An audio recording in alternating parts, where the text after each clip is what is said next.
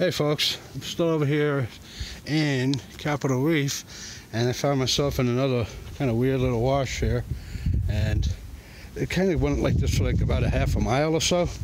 And check this shit out. It just stops right there. I mean, you're surrounded on all sides by this rock formation. Okay, and what do we got here?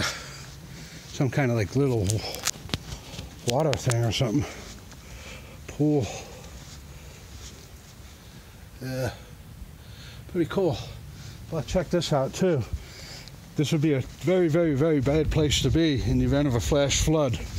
Yeah, you might be able to get up these walls, I don't know.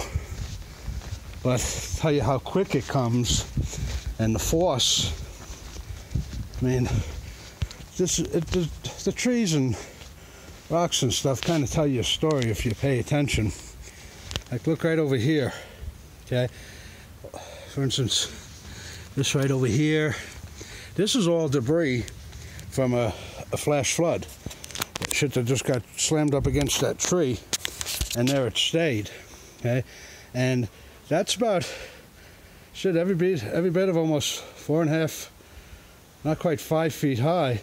So if you were standing out here and that water came that quickly, uh, it's over, you know? You'd be hit with logs and wood and all kinds of crap and they'd probably find you a few months later way down the stream somewhere you know? But I'm only I don't know how far I've gone now but uh, I just keep ducking off the main trail here and exploring these little side trails and boy it sure is gorgeous okay? So that's that for now. I'll probably make about 50 of these later.